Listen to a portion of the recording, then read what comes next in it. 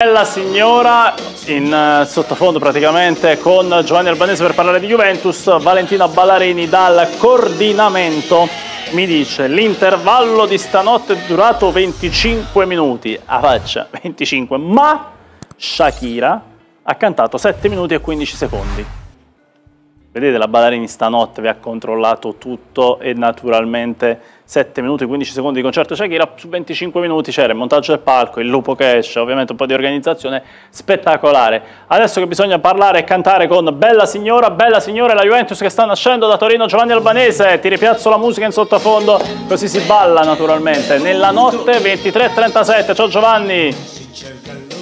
Ciao, ciao Michele, buonasera, un saluto a te e ai tuoi ospiti. Domani giornata fondamentale per la Juventus in chiave mercato perché è prevista una call tra Juventus e Leicester e qui il club inglese potrebbe rilanciare definitivamente e per avvicinare la richiesta um, che è vicina ai 40 milioni per cedere Mattias uh, Suley. Leicester qualche giorno fa ha presentato un'offerta da 25 milioni più 5 di bonus per toccare la quota dei 30, quei 30 la Juventus li vuole garantiti e su quella cifra bisogna aggiungere dei bonus, ma a queste condizioni la Juventus cede il classe 2003 nonostante eh, Tiago Motta lo avrebbe voluto trattenere in organico. Fa gioco alla Juventus eh, l'interesse del West Ham per Sule, al momento invece eh, la Roma non ha presentato alcuna offerta ufficiale al club bianconero, però ripeto, domani sarà una giornata fondamentale perché sbloccandosi la um, situazione eh, sulle, la Juventus con questa gestione potrebbe dare il via alla seconda fase del mercato, c'è sicuramente da completare il reparto mediano con Cop Miners e Giuntoli potrebbe avviare il dialogo con l'Atalanta, ma c'è soprattutto da sistemare gli altri reparti.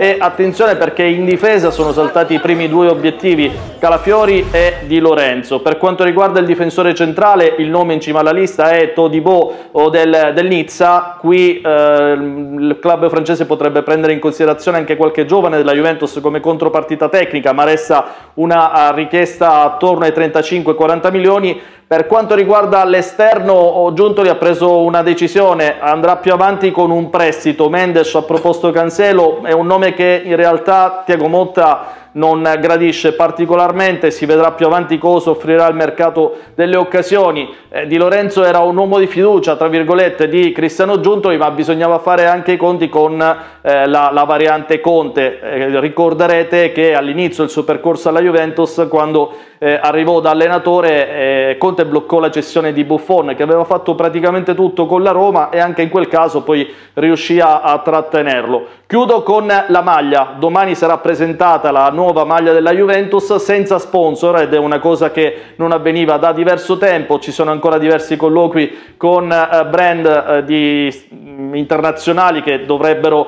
in qualche modo oh, insomma, avanzare la loro candidatura entro la fine del mese, domani comunque sa, sarà ufficializzata la maglia, nulla c'entra invece con eh, il rinnovo del contratto di Il Diz, eh, se ne parlerà nei prossimi giorni per un adeguamento dell'ingaggio con eh, il prolungamento. Il turco avrà la maglia numero 10 ma è un discorso distaccato rispetto alla presentazione della maglia di domani. Che sarà probabilmente annunciato domani. Grazie grazie Torino. Ciao grazie Giovanni Albanese il desk notizie Naomi. Parliamo di Emile Udero portiere della Sampdoria l'anno scorso in prestito all'Inter con la formula del eh, prestito appunto con diritto di riscatto a determinate prestazioni e in questo caso si parlava del 40% delle partite disputate. In realtà eh, Audero è stato per gran parte del campionato in panchina quindi l'Inter non ha potuto fare appello a questa clausola. Eh, in questo momento si sta allenando in ritiro con la Samp, ma il suo staff mi riferisce che ci sono molte eh, offerte da parte di club sia italiani che estere. Eh, le piste verranno tutte tenute in considerazione, anche quella che conduce sempre a Genova, quindi potrebbe effettivamente anche... Longari!